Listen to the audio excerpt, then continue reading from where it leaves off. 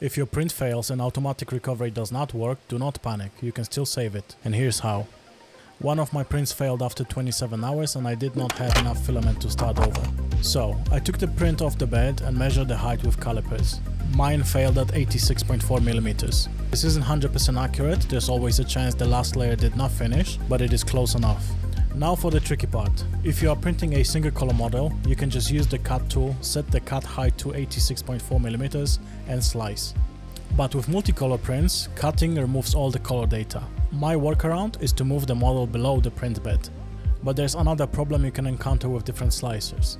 If you open the model coordinates in Cura, the Z value is going to be at 0, which means the first layer of the model is treated as an anchor and the 0 represents bed. But in Orca based slicer, the Z value represents the middle of the model. And just to show you again what I mean, I open the same model in Cura, go to the move tool and you can see the Z is set at 0. But now in the Orca based slicer, the Z value for the same model shows us 52.61, which is the middle of the model. So in Cura I can just type in minus 86.4 in the Z value and the model will be set correctly.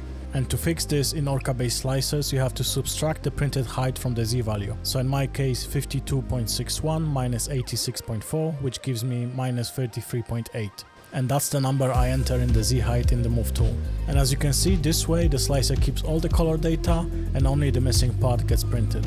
And now all you have to do after it's printed, you just take some glue and carefully try and align everything as good as you can. This fix is definitely not perfect but it works and it definitely beats restarting the whole print and wasting even more time and filament.